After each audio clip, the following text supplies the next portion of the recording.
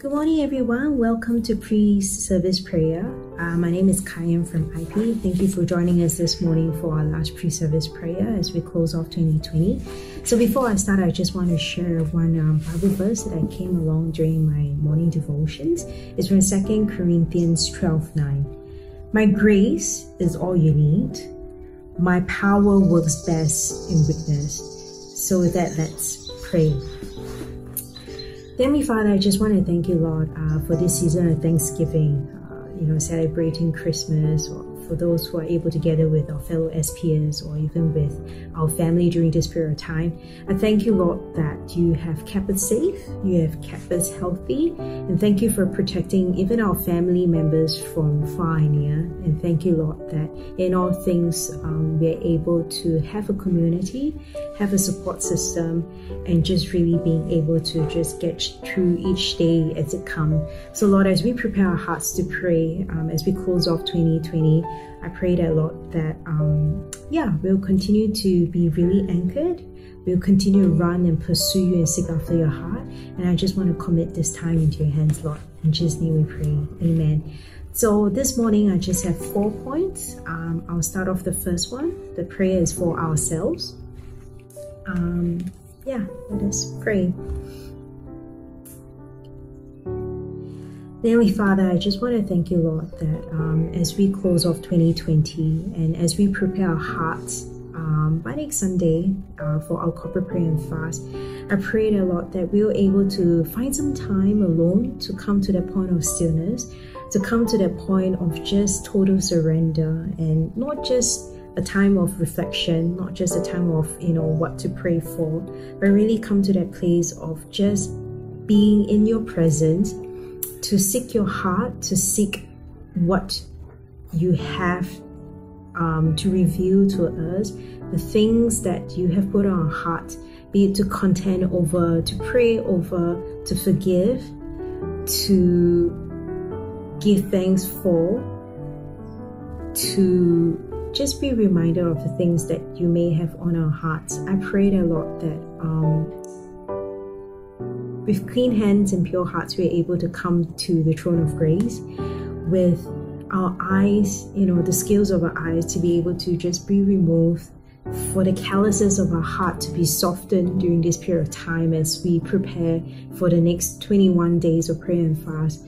I pray that, Lord, for the grievances and our hurts, our sorrows, our pains, and even every other trench that we would have or may had already went through i pray that lord that we'll continue to revive our hearts restore the childlike faith to return um, the hope that we feel that we might have lost. I pray that lord will be able to just yeah to really come back to find back the hope to find back that anchor to find back that um, yeah, that place whereby we are able to to be so still, like the Marys, like um, the Hannahs, like you know the King Davids or even Paul's. I just prayed a lot that it will be a beautiful time of us just um, being drenched in your love, being drenched in worship, and just being drenched in your grace and mercy. And I just prayed a lot, protect our mind protect our hearts, protect our eyes, protect our, our speech, um, especially during this period of time as we prepare our hearts for the prayer, corporate, and fast. And I just want to commit this precious moment um, as we cross over to 2021 into your hands, and even being reminded of the vision that P Sam has given us. And I just commit and I uplift this period of time, the families, um, the singles, the young professionals, um, the people staying at home with their parents. I just want to commit each and every one of us into your hands. In Jesus' name we pray. Amen. The second one that I want to pray for is for our family. Um, yeah, let's take some time. Heavenly Father, um, I'm just reminded of all the prayers that we have been praying for, be it um, for healing, be it for salvation, be it for forgiveness, be it for um, just having enough grace and mercy to love those around us, which is the closest around us, uh, even if they may be here with us physically in the same household, or be it for our family members that we can't be reunited for another don't know, six six months or more. I just prayed a lot that protect our families, um, protect the unity within the family, protect our loved ones, um, protect just our hearts, the words that we speak will be spoken out of love, the prayers that we contend for. Um, we won't give up on the prayers. Um, for the grace that we need when we may um, at that snap we may not have. I just really pray that Lord that you protect the family unit, protect the marriages, um, protect the children and parents, um, protect the singles, protect each and every one of us individuals, and yeah, you know the the unit. The, the family unit is always the most vulnerable sometimes, but I know that God, you love us so much that you will not want anything um, to be stolen away. So I pray, Lord, for protection over families. I pray, Lord, that your love, your covering, and your web of grace, your web of mercy will just cover each and every household. Yeah, and I just pray for wisdom and discernment as we are salt and light to our own family members. I pray that Lord that we'll never forget that um, we don't use our own wisdom, but we lean on to you first as we speak words of grace um, towards our family, to love those who may be struggling, um, to have strength to pray when um, we may not have the courage to pray anymore. And I thank you, Lord, for just loving us even the spiritual families too that we have and i'm thankful lord for, for spiritual families. So i just want to commit um, family to your hands and for the support that we have even when we may not see our family members physically but i know that god you are there. So i commit them into your hands. Just name we pray. Amen. Um, the next point that i have is really to pray for our nation the nations around us and just for the covid situation. Um, Dearly Father, um, it's been one year into COVID. Um, some of us have lost our family members abruptly, suddenly, due to COVID.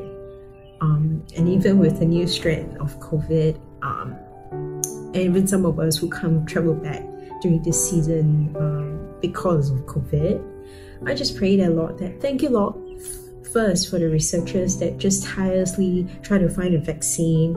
Um, and I just want to pray for each and every individual, the nations, the world, the people. Um, who, who may or may not have access to vaccine, who may or may not have access to healthcare. I just pray, Lord, that um, I just want to pray for hope. I just pray that even for those who may be struggling alone um, due to COVID, be in the States, be in Europe, just any single country out there. I just pray that Lord, you will send strength to the healthcare workers. You will send hope to family members who can't be there for for for family members who who um who have passed on due to COVID or who who, who are suffering uh, due to COVID. I just pray that Lord that um, the world needs a lot of hope. We need hope. And I know that, Lord, um, your hope is free, your grace is free, your love is free. And I pray that everyone in every single corner of this world will be able to experience some love. Be it in a cold season, be it a hot season. Um, I just know that God, you you love us so much. You love us so much. Yeah.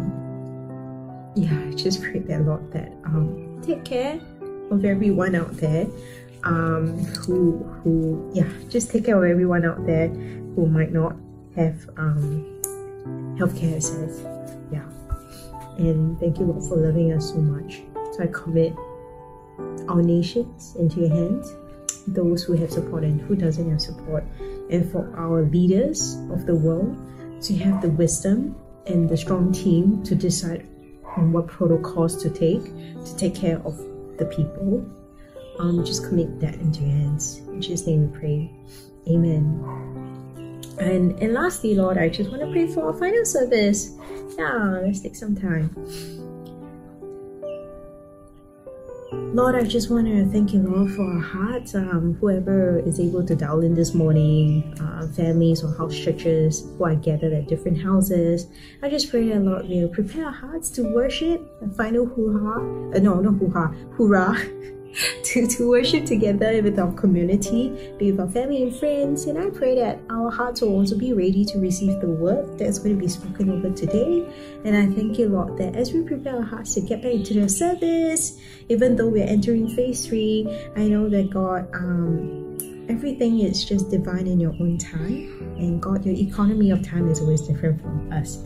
So, Lord, I just want to pray for the service today that, you know, ah, we're gonna just be excited to cross over 2021, even though it's very unpredictable, because we know that God, you are here with us in every single journey, in every single part. And I just pray that, Lord, we are able to just worship freely with total abandonment, with clean hand, pure heart, and just say hallelujah. Jehovah Jireh, you are a counselor, you are just so amazing. And and yeah, just to be drenched with with that beautiful love of our Abba Father. And that we'll be encouraged by the word that's going to be spoken today. And I pray that, Lord, that as we close off 2020, um, thank you, Abba Father, for being so faithful. And as we prepare our hearts for 2021 for our prayer and fast, we will not give up on hope because you haven't given up on us. So I just commit everything to your hands. We love you so much. And thank you for loving us, never abandoning us, never forgot, forgetting us or forsaking us. So with that, I just commit all this into your hands. In Jesus' name we pray. Amen.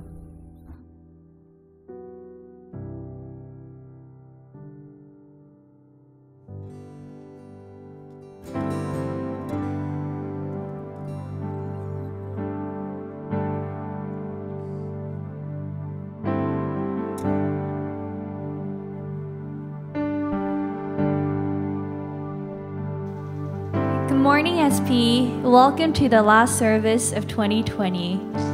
Wow, I, I really can't believe it's the end of 2020, but it has been um, an interesting year, but still, um, as I'm reflecting this um, year, I realize that everything in this world can really change.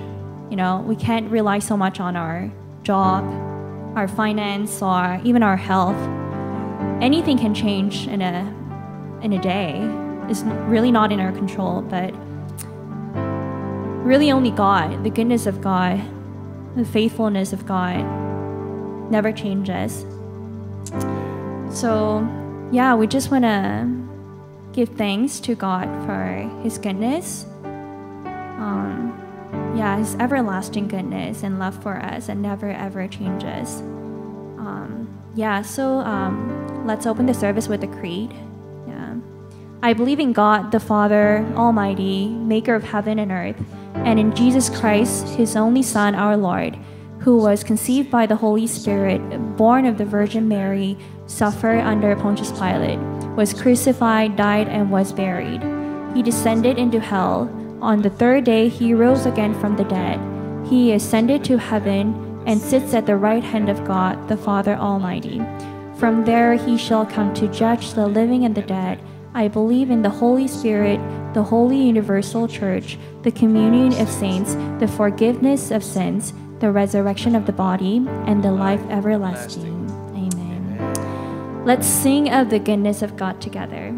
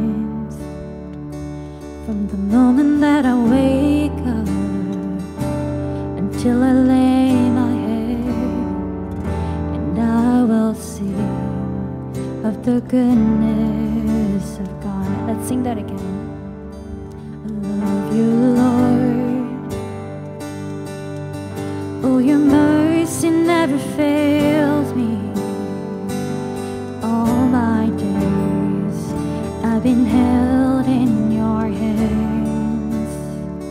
From the moment that I wake up Until I lay my head And I will sing of the goodness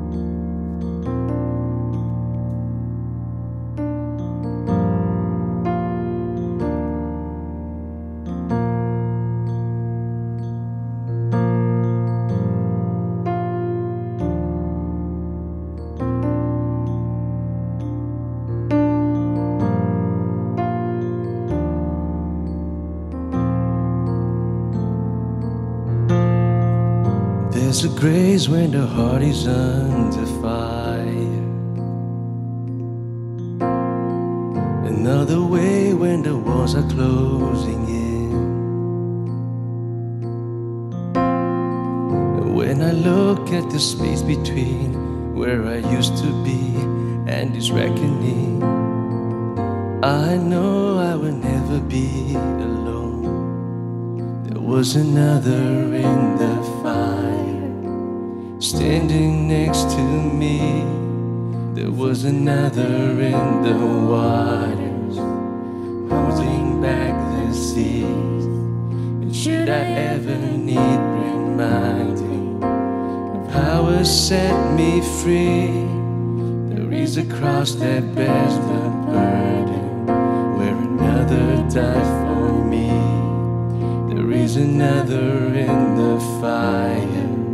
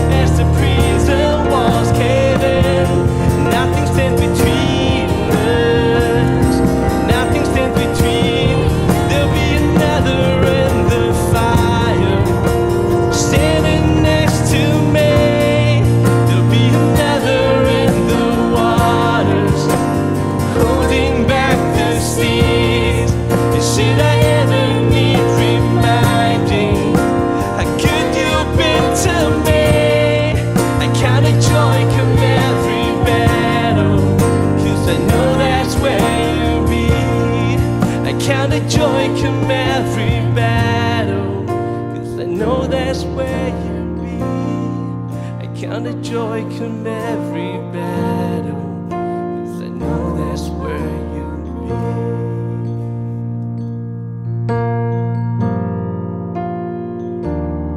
be. Father, we just thank you for your love. Thank you for your grace in taking us through this year 2020. For a lot of us, it's been a season of fire, it's been a season of storm. But Lord, we know that you are there with us. You'll always be there with us. God, we thank you. We bring you glory and honor. We love you. And all God's people say, Amen.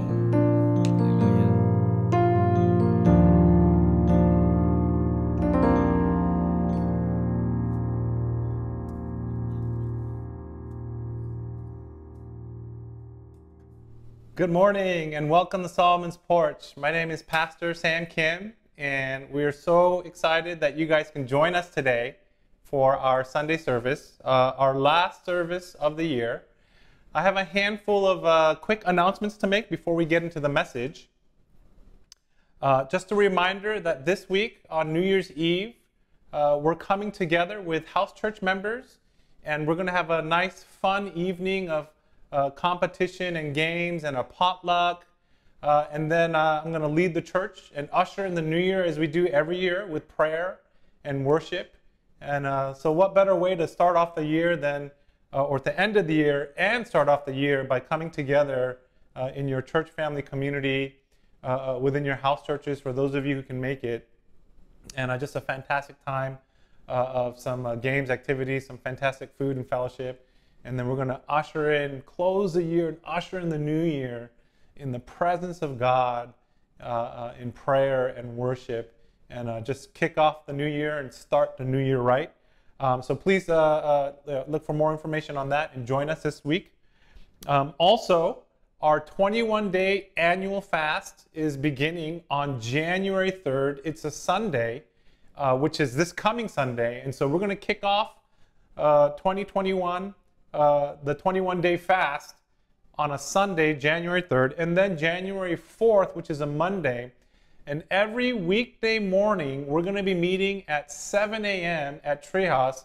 And uh, space is limited, a maximum of 50 individuals.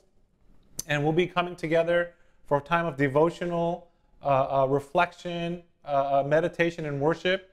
And so please come and join us. the start of every day, we want to give it to the Lord uh, the start of the year. We want to commit that to the Lord and just really come hungry before God, you know, physically and spiritually. And uh, our, our desire and intent is to meet together and to meet with God. And so please keep that marked and join us uh, uh weekdays. You're going to have to sign up online, uh, pre registration, as we do for our Sunday services. And also, super, super excited if you haven't heard the news already. Uh, starting in 2021 on January 3rd, uh, we're going to have every Sunday, weekly in person Sunday services at the uh, Furama Hotel. And so we're really excited for that. We're going to start off with uh, 50. Uh, we hope to expand that a little bit, eventually get to 100. And uh, we got uh, fantastic news that we can now go to 150 and even 200. Uh, and so please join us, be a part of that in person, uh, meeting together, meeting with the Lord. And we are very much hoping that by February we can start introducing uh, some of our children's ministry uh, classes and classrooms. And so just uh, really excited for the new year and everything that God has in store for you and for your community here at SP. Uh, so some, some key dates to keep in mind. Uh, please mark them down. The title of my sermon today is called On Your Mark, Get Ready, Set, Go. I was watching this video not too long ago uh, of Olympic swimmers as a competition, and they had uh, all these uh, uh, swimmers on the platform, and you know there's a cue, and then when it goes off, everyone jumps, and then they compete, you know, in their in their race. And it was a, it was it was really heart wrenching because I, I saw this individual, and they were all lined up, and then there's a get set, there's a you know get ready, and then there's a there's a beep or a gun, and then they launch off. And one of the swimmers had launched off too soon before everyone else had and before the, the mark was you know made. And uh, as soon as he jumped in he knew he made a mistake. Uh, he was slapping the water just really upset. You know he came out of the pool. Uh, uh it, was, it, was noticeable that he was crying. Uh, he had to exit and uh, he, he basically had a false start and was disqualified or, or you know deducted points and eventually he did come back and they let him compete um, but but it was just a really really sad picture. You know this idea of uh, you know on your mark, uh, get ready, set, go. Uh, I had a kind of a more leisurely uh, swim race just amongst uh, uh, other other other swimmers last Sunday, and we split up into two teams. About I think it was around four or five people on each side separately. There's a clear demarcation, and we did a, a relay race. And I was the first person on my team to go and I'm and I'm probably out of like 20 people, I'm probably like the third or fourth last, you know, uh, uh, swimmer. You know, just don't have the lungs that I used to have. Um, but I gave it my best. I knew I had to get a good start, and so I got down. And then when the coach said go, jumped in, and I swam my heart out as fast as I could, held my breath, and I and I made it to the end, and before the next person would go. And I got up and I said, "Did I did I beat my guy? Did I beat the guy that I was racing against?" And uh, sure enough, uh, you know, the guy said yes, and I was so excited. Uh, eventually, we would lose the relay race. Our team lost, but but I won. I, I beat the guy that I was racing, and so I was just really excited. Um, but you know, having a good start, you know, getting set on your mark, getting ready, and then launching off. And and I thought this was a great picture uh, as we close out the year in 2020, and as we get ready and get set for 2021. You know, I want to help us kind of gear up and, and a, a, good start or a great start has a lot, lot to do with winning a race or, or you, know, uh, uh, you know, having an advantage in a race. And so, you know, as your spiritual leader and as your pastor, you know, as a, as a church, I want to, uh, you know, for all the things that have happened in, in you know, 2020, I want to help orientate and, and start preparing us so that so that we're in a position as we start 2021 that every single one of you would be in a great position to start and launch out into that. Um, you know, I mentioned a couple weeks ago we're going into our, our uh, season of fasting as a church, and you know we're closing out. You know, today's the last Sunday of the year, and there's there's so much to think about. There's there's so much to reflect on, and and all the all the blessings that God has blessed us with, and, and still at the same time the struggles and the losses of 2020, and some of us are still contending. And and I wanted to take a moment and pause uh, for myself and for our church community and, and, and for you guys and and, and for those we know, you know, we've, we've lost loved ones this year. We, you know, we've lost loved ones this year. Uh, we know of people who have lost loved ones this year. It was, it was a tough year, and especially in the context of everything going on, uh, not being able to see each other, not being able to mourn uh, together at times and, and, things. And we have people in our church and community uh, who are going through that mourning period even now as we speak. And, uh, and I thought it's necessary that we, we pause a moment and just reflect whether it's yourself or whether it's others you know or care for uh, that have lost loved ones, um, that we acknowledge, we pause, and we just mourn with them. We recognize that there's both good and there's also difficulty in this year. Um, and we remember the loved ones, we remember the best of them. We, we celebrate their life, we celebrate the grace of God over their lives. Uh, there's this quote uh, by a pastor, um, and, and I, and, I, really love how he says it. And he's talking about loss and he's talking about grief. And we understand we have a God and, and, and we trust in Him. We, we trust in the ultimate promise through His Son, Jesus Christ. And so, no matter how difficult things get, there's, we still have this hope, even in the midst of you know, difficulty and in the midst of what seems like to, you know, to be a situation of no hope. Even then, because we believe that God loves us, because we believe that he conveyed his ultimate communication of love through his son. And because his son, who died for our sins, was resurrected from the grave, we have this hope in him. And so, uh, uh, this quote from this pastor he says, Occasionally, we weep deeply over the life we had hoped it would be. And we all experience loss. Uh, and, and, he points out that we, we need to grieve the losses. You know, we can't, we can't pretend like it didn't happen. We can't just put a spiritual patch over it and just you know move on. We, we need to take time to grieve the losses. And then he goes on to say, then wash your face. You know, after you grieve, then wash your face. And then trust God and embrace the life that you have. Right? So there is this importance and value of grieving, of recognizing and acknowledging. And, and it's okay to have questions, it's okay to have doubts, it's, it's, it's okay to even be upset. But then we ultimately submit this into our Heavenly Father and we ultimately trust that His love and His goodness uh, uh, will, will carry us through these seasons. And so He talks about you know, acknowledging the grief. You know, imagine, you know, consider the life that could have been or that you had hoped for that is no more. And then you wash your face and then you trust in God. And then you get ready for the next year, and then you get ready for what is to come, and then you get ready for those that need you, uh, uh, um, you know, in their lives. Um, acknowledge what is hard, grieve the loss, uh, you know, feel this thing of whatever will never be, and then put your trust in Him.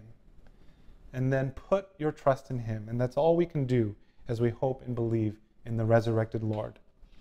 Uh, we're also still in the process of contending for loved ones. We still have, you know, uh, family members or friends or loved ones or people you know uh, who are still, you know, battling ailments, who are still fighting for their life. And so we're still in the process, not only, you know, mourning for those that have passed and submitting them to God, but we're also still in the process of contending and, and praying and, and, and pouring out our hearts uh, for those who are sick. Uh, I have dear friends and family members, you know, overseas and here uh, uh, that are just, you know, praying and contending, and it's, it's, you know, on top of a difficult year, it's, it's, it seems like it's closing out with, with another difficult situation, and so we continue to pray. We, we continue to uh, uh, not give up and, and, and unceasingly contend before the Lord. But even in this, we don't stop there. Even in this, as we remember the past, you know, those lost, and as we contend for those who are fighting even now, even in the midst of this, I charge you that we are to praise God through it all. Even though you don't feel like it, even though everything seems to be stacked against you, that we still praise God through it all. We praise God through it all. We take the good from God, and we also take the difficult and the bad. In Job chapter 2, verse 10, and uh, you know, Job with all his conflicts and strife and you know attacks of the enemy and and all the things that went wrong and the, and the loss of loved ones and the loss of health and the loss of finances. This is his response. And he says shall we accept good from god and not trouble? Shall we accept good from god and not trouble? And the scriptures tells us that in all this job did not sin in what he said in James chapter 1 verse 12. Blessed is the man who perseveres under trial, because when he has stood the test, he will receive the crown of life that God has promised to those who love him. In Job chapter uh, 1, verse 21 and 22, Job says this He says, Naked I came from my mother's womb, and naked I shall return. The Lord gave, and the Lord has taken away. Blessed be the name of the Lord. And the scriptures goes on to say that in all this Job did not sin or charge God with wrongdoing. Naked I came from my mother's womb, and naked I shall return. And in the midst of all this, he says, you know, God gives and God takes away, and it's almost like this, this, this. He understands that he understands that he doesn't understand everything. He understands that, that God works you know, beyond his understanding and capacity. And so, you know, regardless of the situation regardless of the circumstances, Job says, all I can do is bless his name. All I can do is rely on God. All I can do is praise his name. God is certainly worthy. God is certainly praiseworthy. I remember uh, Pastor Sam Song, our senior pastor and founding pastor of the whole Solomon's Porch uh, network, in Hong Kong, and he was giving this account, and it, you know when it happened some you know 16 years ago, when his firstborn was uh, um, you know birthed in the hospital, there was this moment of terror where they had thought that maybe it was a stillbirth, you know, uh, uh the the response or reaction of the child after after giving birth, uh, all the signs weren't there, and so there was a moment where both he and his wife Lisa had thought just for a moment that that maybe this was a stillbirth, and this this this just this fear came. And I remember that following Sunday, he came, you know, to church and was sharing, and, and you know, the, the child is healthy and you know, beautiful and and and you know, just vibrant, and and you know, everything ended up being okay. But I remember him sharing in that moment where there was that uncertainty and fear, where he just started lifting up his hands and saying, Blessed be the name of the Lord. Blessed be the name of the Lord. He gives and he takes away. He gives and he takes away. Blessed be the name of the Lord. And and just just that that that shock and reminding that even in the context of potentially such a great loss, that one could have such faith in God that whether through good or through the bad, God is worthy of praise. Blessed be his name. All good things come from God. And we trust in God. And even through the difficulty, we believe that God is still trustworthy. And I just remember being so humbled by that and thinking, man, I, I know, I, I hope and I wish and I pray that I would have that type of faith. That I would have that type of faith.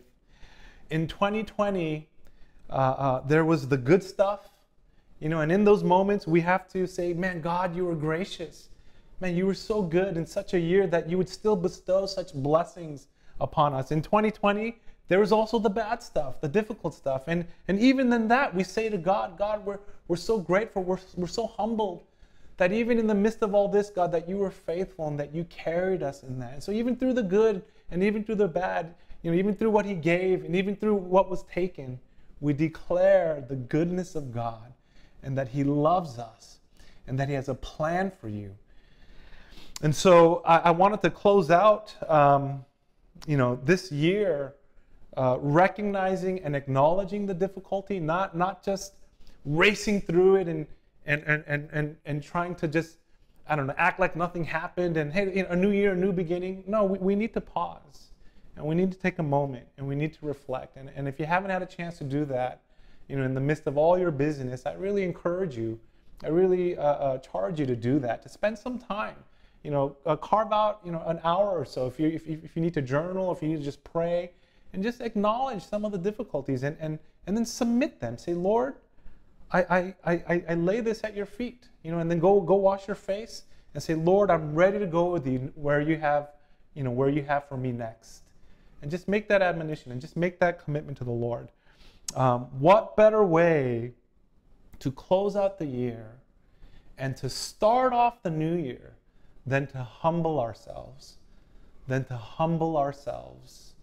You know, for the things that we thought we had a handle on or a grasp on that kind of got away from us. You know, for the things that didn't work out and, and, and God worked in another way and surprisingly blessed us. You know, all, all, all everything what better way to close out and start the new year of 2021 than to humble ourselves? And so I have uh, three points this morning, uh, uh, three ways, uh, uh, you know, about fasting. And the first one is about humility. The first one is about humbling. Fasting makes us humble. When we fast, we are literally humbling ourselves. We're literally emptying ourselves and saying, God, we're we're coming to you empty handed. You know, you know, our theme this year is about expansion, it's about making room, uh, making adjustments. There are things that God wants to bless us with, you know, pruning, cutting things out. What better way to show God that we're open and that, that we're creating space for whatever it is that He wants to do than by coming and fasting with one another and with your church and, and with your leadership? Uh, the biblical mandate, if you've never heard this before, if no one's ever told you, the biblical mandate is that, you know, we are to humble ourselves, right? If you've ever heard this prayer, oh, I'm so proud, or, or, or you know, too many things, you know, going on, and uh, uh, Lord, humble me. Lord, I, you know, I'm, I'm too good. I'm too blessed. Lord, humble me. I need, I need to be more humble, right? I, I used to think this. I used to pray this prayer all the time.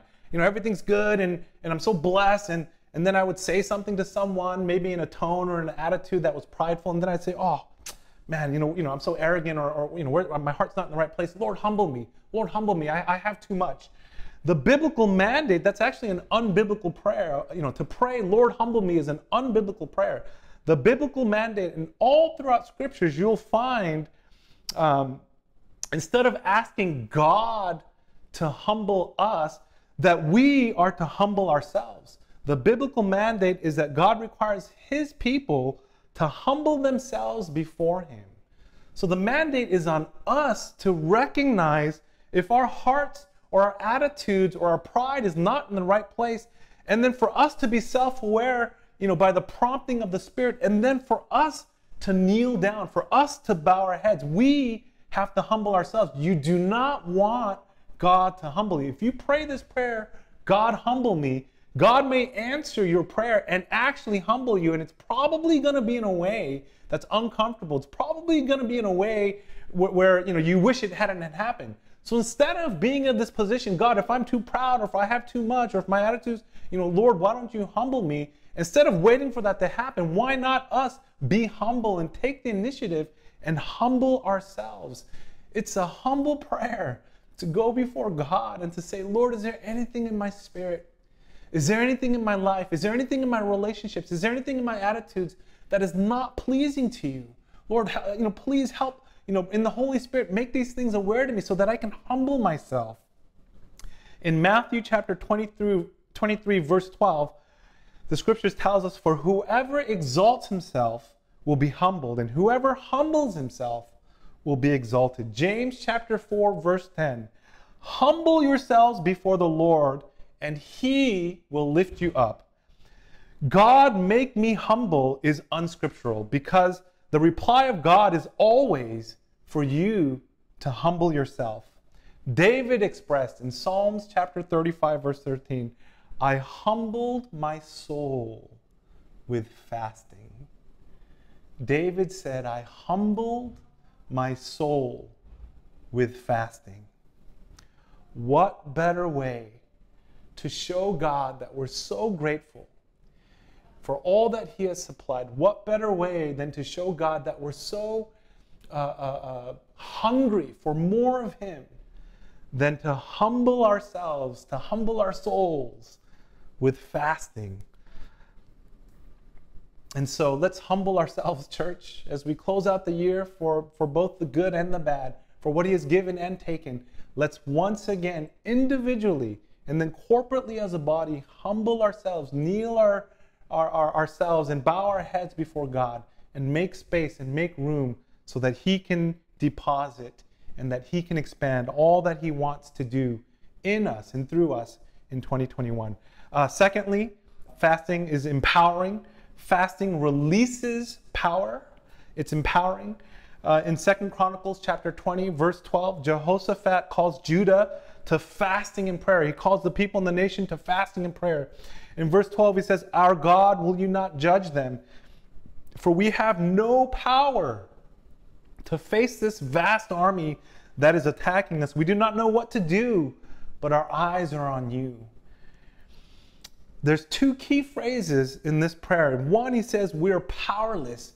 We have no power. We have no capacity. I have no weapons. I, I, I have no, you know, uh, uh, uh, nothing I can do. There's nothing in my own hands, nothing in my own power to overcome. And then, secondly, he says, We don't know what to do. Not only do we have no power, but we don't know what to do. We don't know what to turn. And so they turn to God in humility. They turn to God in prayer and they turn to God in fasting.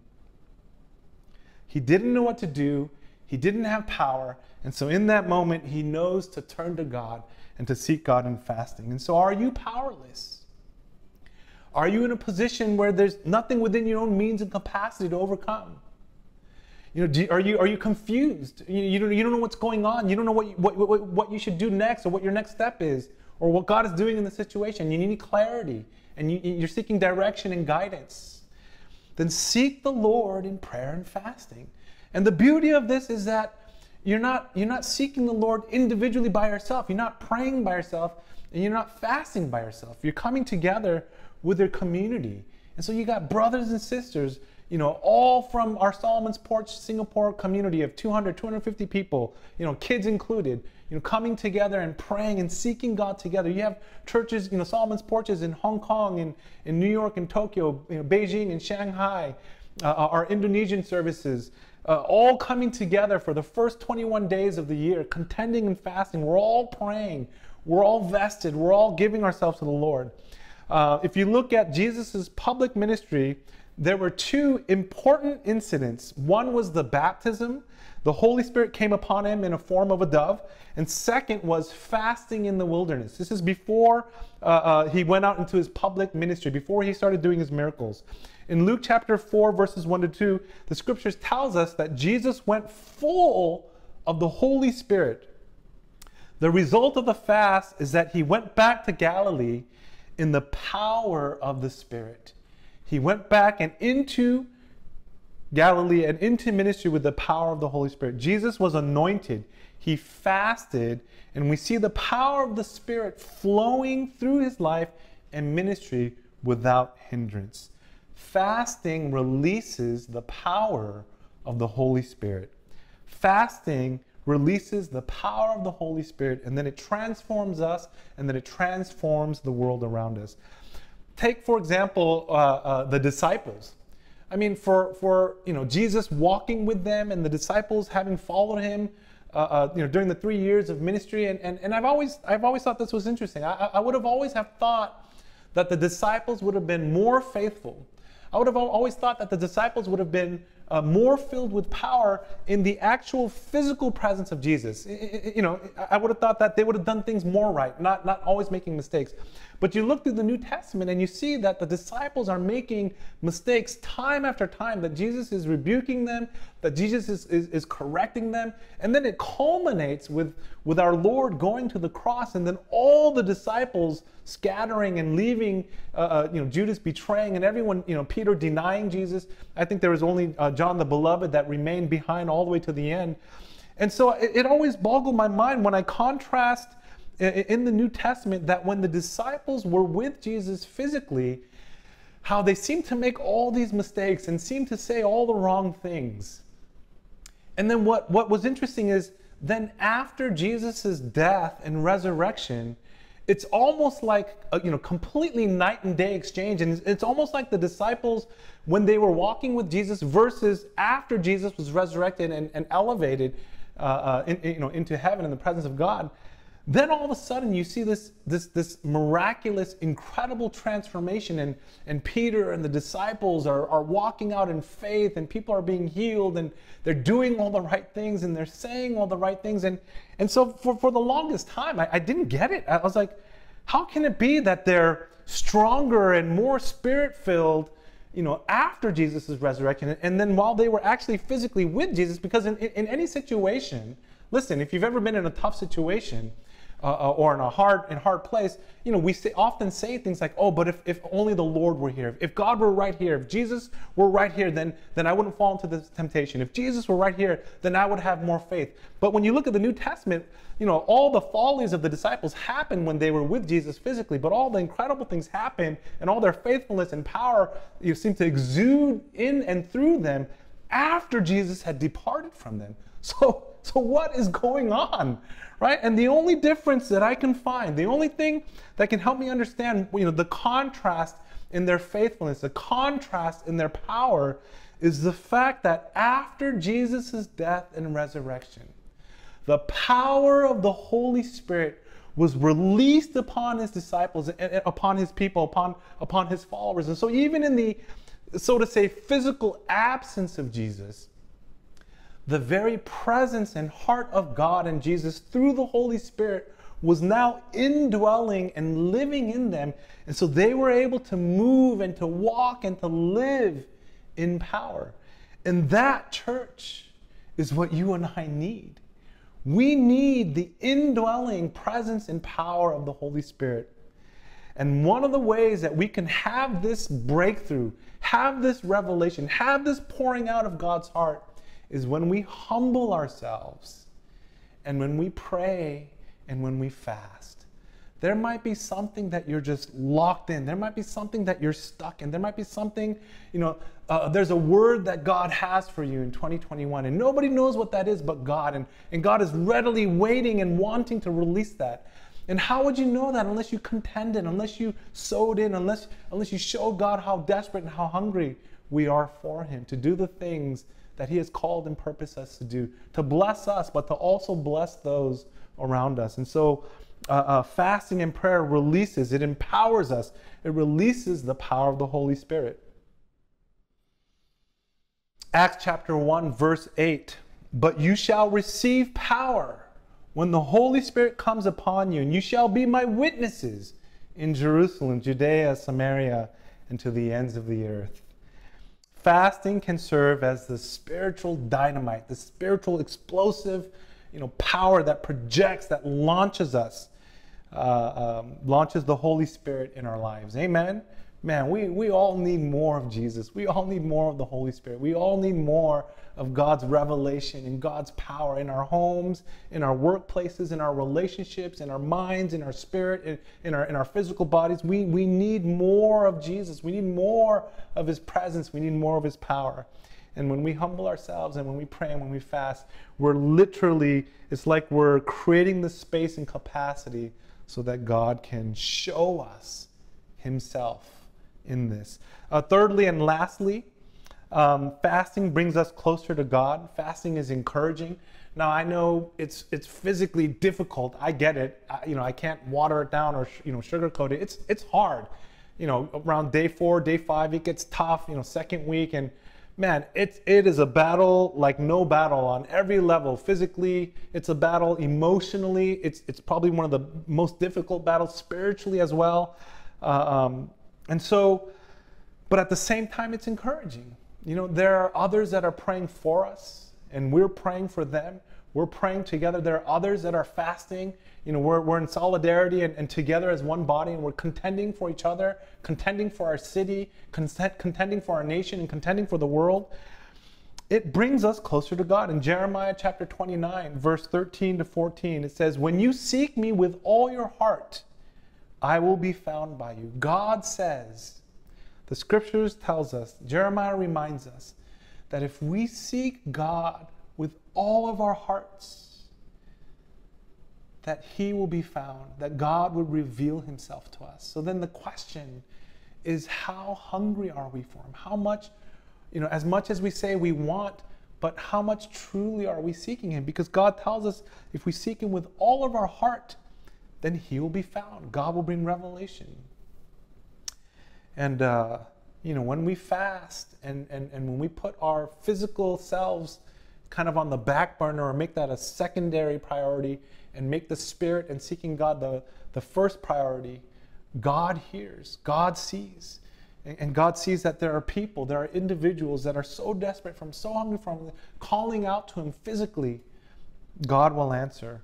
Uh, Joel expressed in Joel chapter 2, verse 12 Yet even now, says the Lord, return to me with all of your heart with fasting.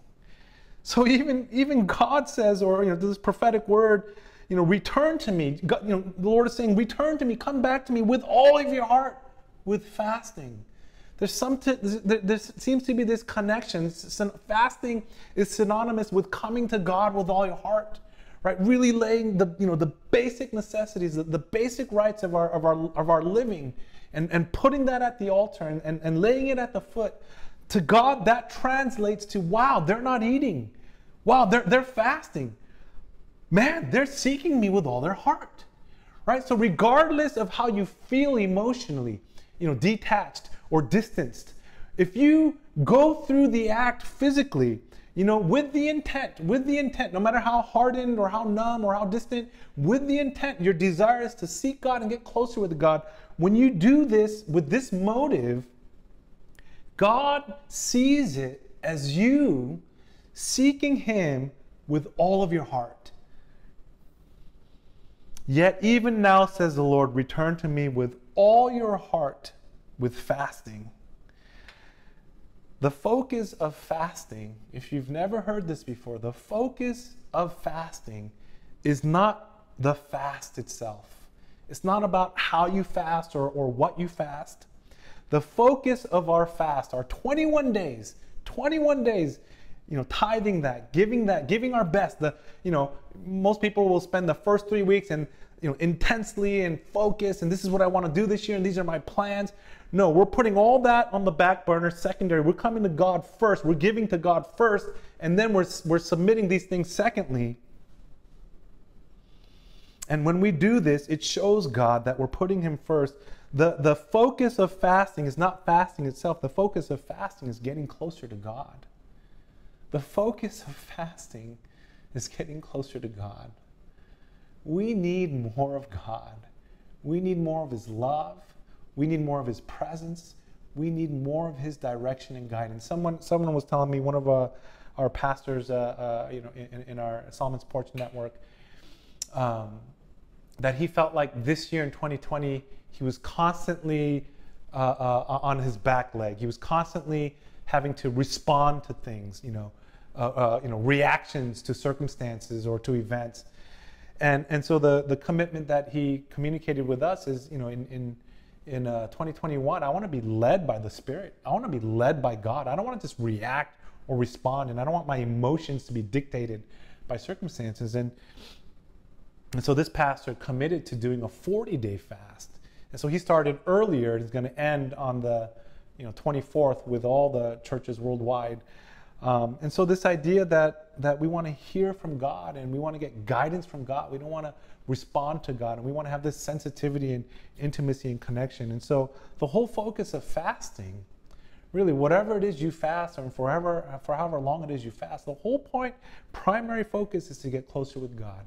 We know that if we get closer to God and that we get intimate with God and our relationship is personal with God, we know that God will walk with us throughout the whole year. We know that God will give us guidance through every circumstance and situation. We know that God, even for the things we ask for that we think are good for us, but God may actually have something better for us, would navigate and direct us through that in relationship. Ultimately, we trust in God. And so the focus of our fast is to get closer to God. Are you willing to give up? Here's, here's the question. You know, some, as some of us might be on the fence. Some of you, are this is like round seven, round eight you know, I'm not sure if I, am going to have the same intensity. Some of you guys might be hearing this for the first time. You know, some of you guys are hardcore believers. Some of you guys are seekers and, and wondering, you know, about this Christianity thing. And, and it's, it's, it's, incredible. We've had people of all walks, and of all stages, and all, all you know, uh, uh, wherever they are in their faith, whether they're seeking, whether they're longtime believers. We've had non believers come or pre believers, right? People who haven't yet given their lives to the Lord. And they'll fast and they'll join and they'll participate and, and God will move. You know, and then at a later time, God will reveal and then and they'll, come to salvation and faith. And so we've had all sorts of incredible testimonies of people of all walks of, uh, of uh, uh stages in life and faith coming and encountering God. But the key question here, and, and, the question that has to be posed to all of us, is simply this, and, and you don't have to answer to me, you don't have to answer you know, to a friend or your spouse, or this is this is be, between you and God. And, and listen, I'm just I'm just a messenger. And so take this to heart. The question is, are you willing to give up for a period of time? Or not not forever, not for the whole year. Are you willing, yes or no, in your heart of hearts, are you willing to give up for a period of time, for 21 days, the legitimate pleasures of this world, the rightful and legitimate pleasures of food and leisure and comfort? Are you willing for a season, for three weeks, for 21 days, the beginning, you know, 8%, 7% of the year unto God? Are you willing to give up the legitimate, rightful pleasures that we're entitled to for a season, lay them down before God so that we can experience the extreme pleasures of knowing God? Are we willing to give up something we love, something we value, something we treasure for a period of time so that we can experience the extreme pleasures of knowing God? Knowing God. Imagine God gives you a word. Imagine God gives you a vision. Imagine in the midst of this prayer, He answers a prayer. Imagine that He has something that He wants to reveal, and, and, and, and you're not even sure what that is. And, but you know that God has something for you. God has a word for you. God has a clear directive for you. And it's not about God, this is what I want to do, and so can you bless it? But what if God has something for you? What if God has a word for you? What if God has a clear directive for you? And, and all it took was for us for 21 days to say, God, I'm here. God, I'm hungry. I'm physically hungry. I'm dying. But I'm more hungry for you. I'm more hungry to know your heart. I'm, I'm more hungry to know what your plans are. And we simply came open hearted and, and, and expanded ourselves and, and made room and stretched ourselves. And then God would have give you a word. And that that word just resonated in your spirit. And whatever words or plans you had for yourself, as, as soon as you got that word, you, you would you would ditch all your other plans. You would you would ditch, you would rewrite your calendar. You would you would restart the introduction to the year and, and say, man, this is from God, this is God's mandate. I'm all in. I'm God, wherever you're going, that's where I'm going. Imagine that God has a word for you, and He does. He does. He knows you by name. He loves you individually. He knows you every, you know, every detail of your past, of you know, everything that's brought you here now. And, and he has a plan and a purpose for you for 2021. It's, it's like a gift. He has it. And he's ready to release it to you. If we would come before him and humble ourselves with all of our hearts, the scripture says, in fasting. And so what this, I mean, you know, I know it's tough. I know it's not easy, but but at the same time, I get excited. I, I, get so excited for you guys. I get so excited for those of you who are doing it for the first time. I get so excited for those of you who've done it for the eighth or ninth year because whatever God has for you this year is different than whatever He had for you last year, whatever He had for you, you know, three years ago. And so our job is to contend and to humble ourselves and get hungry and to seek after God for His word, for His deposit, for His direction. And in addition to all this, we contend and pray for our loved ones. We pray for our sick ones. We pray for breakthrough in our workplaces, in our relationships, and all those things too. God, God is readily wanting to bless. But the first and foremost priority is that the blessing is God Himself. God is the blessing. If we have God and we got none of the things that we ask for, we would still be blessed. Amen. Amen. Man, we have to believe that. But if we have God and we, we give Him all our hearts, there's nothing that a loving father would not release to his children when our hearts, when, when, he, when, when the conveying of our hearts to him is that we love him with all of our hearts, right? It's just a matter of timing. It's just a matter of circumstances. And, and even with timing and things, we completely trust that to the Lord. Are you willing to give up for a season, for 21 days, the legitimate pleasures of the world so that we can experience the extreme pleasure of knowing God? This is the question. What a special opportunity we have. I'm excited for the church. I'm excited for you. I'm excited, you know, for the testimonies that are going to come out of this. And um, man, I, I, hope I hope you guys would join us. Um, just a couple quick notes. Uh, uh, you know, remember when we're fasting, as we're as we start off on on Sunday, the the you know the following Sunday, uh, fasting without prayer is dieting. Fasting without prayer is dieting. You can't. We're not just not eating right? But we're using that time to spend with God in prayer, right? So the focus is not just abstaining, but the focus is, you know, getting quality time with God. Uh, and so I, you know, challenge and charge you guys, you know, start making preparations. Um, you know, start start uh, uh, uh making a game plan for what you're going to fast, uh, what you're going to do during that fast. You know, a lot of people in the in the marketplace in the office will spend that hour that they would have been eating. Instead, they'll have a list of things and start praying for people and others, not, not just ourselves. In fact, I would say uh, uh, don't pray just for yourself, but pray for others. And, and if everyone is praying for others, then you yourself will be prayed for. Um, just a quick quote here from uh, Max Lucado on, on the idea of prayer. And I understand that for some of us, prayer is new. I understand for, for some of us, you know, prayer seems foreign and doesn't always feel like God answers or doesn't even always feel like God hears. But this is what Max Lucado says. He says, Our prayers may be awkward, our attempts may be you know, even feeble in, in our eyes, but since the power in prayer is in the one who hears it and not in the one who says it, it does make a difference. Right? So no matter the mode or how you feel, the power isn't in the way we pray. The power isn't in what we say. The power is in ultimately who hears our prayers. So we continue to give supplication. We continue to make petition. We continue to contend and pray continually because we know ultimately that our prayers in the hands of God is a far better thing than the power of our ability to pray. Um, so keep praying uh, whenever and wherever you can. Uh, um, I mentioned, you know, uh, uh real quickly, there's three types of fast. A general fast, which is no food, um, um, but you can still take water. There's the absolute fast I mentioned a couple weeks ago, no water, no food. If you're going to do no water, no food, you have to let your house church leader know. You have to let me know. Uh, we want to pray for you, but also keep tabs on you physically, uh, make sure everything's okay. And then most of us does some form of a partial fast. Uh, uh you know, a lot of us do liquids, uh, a particular type of liquid. Uh, you know, fruit juice or, or vegetable juice, or, or some of us do smoothies, or some of us do one meal a day. You know, whatever that is, that's between you and God. Uh, I think the key here is that it shouldn't be like a cakewalk. It shouldn't be like, you know, oh yeah, I can do this. It's, you know, it should be something you feel like you can't do.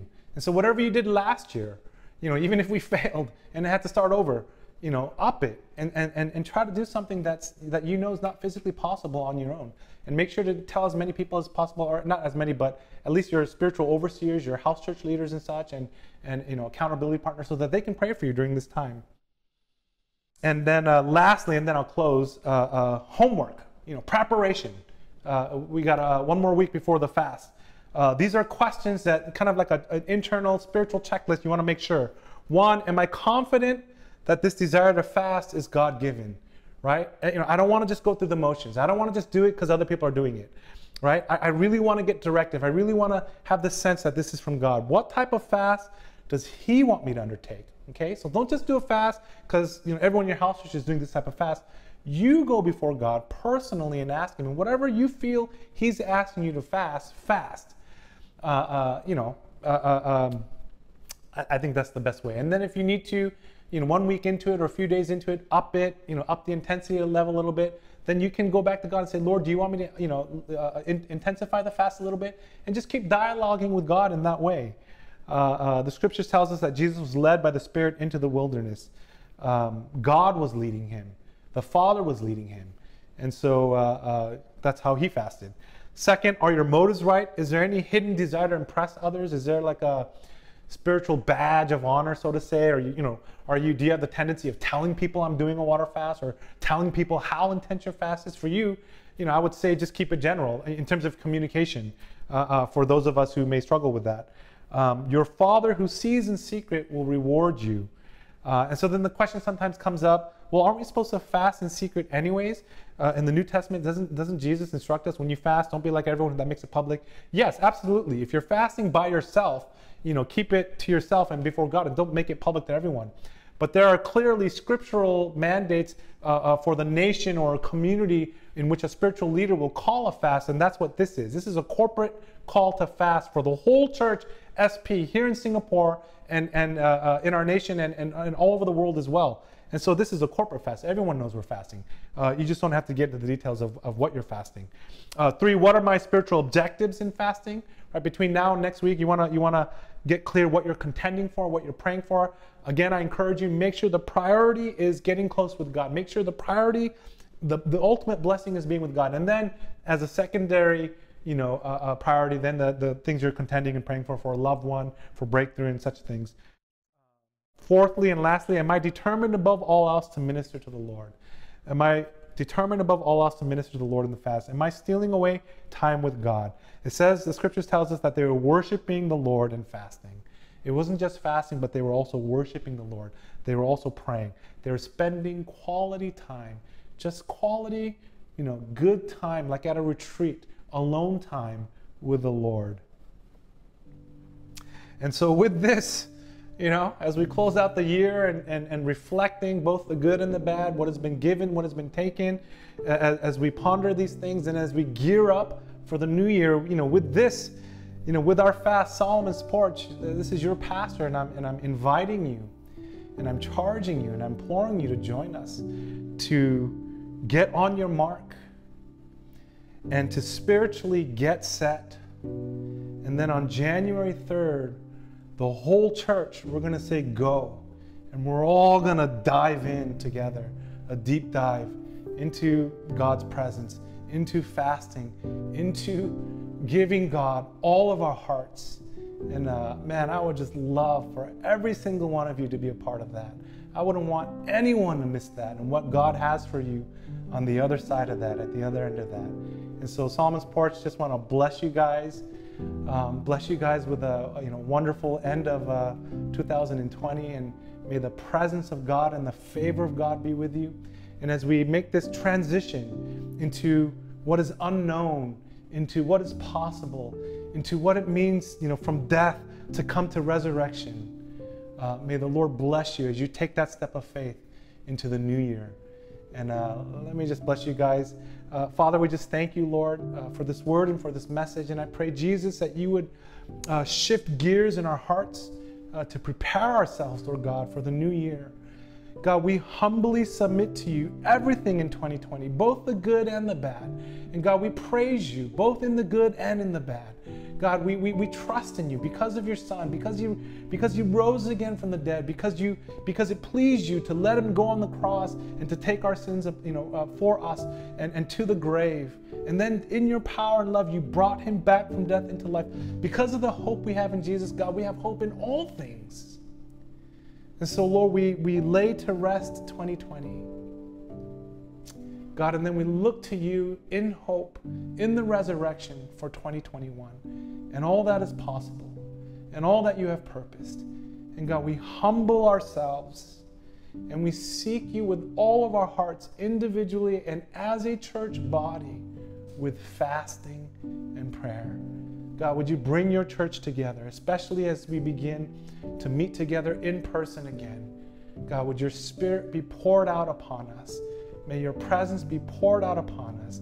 May the power of the Holy Spirit be poured out upon us so that we can walk in your presence, in your power, and your love. And now may the Lord bless you and keep you. The Lord make his face shine upon you and be gracious to you. The Lord lift up his countenance towards you and give you peace and shalom this day forevermore. In the name of the Father, and of the Son, and of the Holy Spirit. And all God's people said, Amen. Amen. Bless you guys. Uh, have a happy new year, and we'll see you guys in the new year. Uh, we have a handful of people that would love to pray for you after service. There's some information here uh, for you on that. And so bless you guys. And stick around, we have a, a handful of other announcements as well. We'll see you guys next year.